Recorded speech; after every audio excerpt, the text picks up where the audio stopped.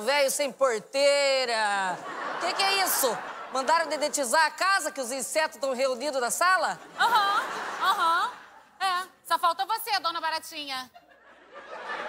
Ô, Lady Kate, não vou nem poder contracenar com você. A gente vai reinaugurar o Sofrências Bar e eu tô cheio de coisa lá dentro pra fazer, tá? Beijos sem paraquedas pra vocês caírem no esquecimento. Dá licença, fui.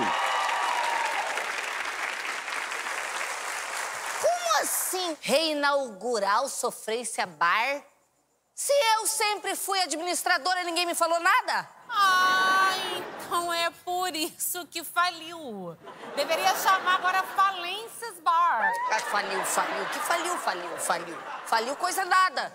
Fechou-se o bar por motivo de força maior. Ah, ou polícia ou Anvisa, com certeza. Ah, não interessa, garota. Deixa eu falar aqui com você, meu irmão. Meu irmão, do meu coração.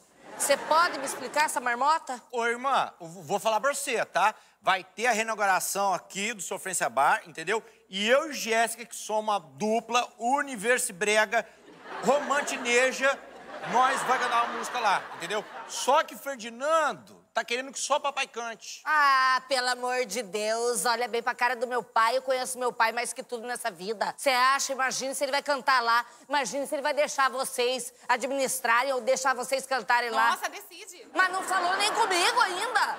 Ah.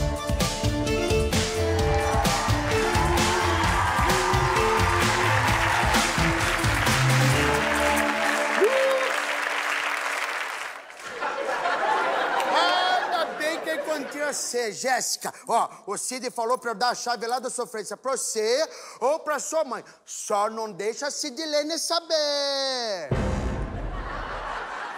Oi, Sidilene. Bom, parece que o jogo virou um, não é mesmo? Mas eu vou desvirar esse jogo. Não bateu, pera, pera, pera. Não precisa brigar. Não precisa brigar porque eu tenho outra chave. Eu fiz várias chaves.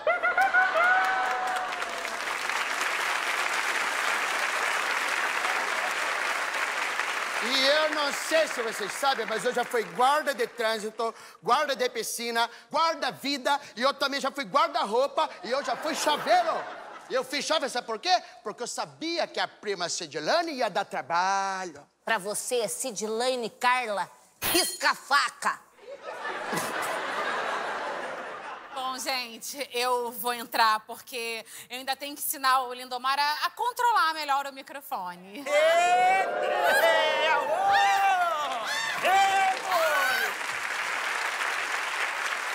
Você percebeu que ele estava falando tudo com duplo sentido? Era negócio de sexo.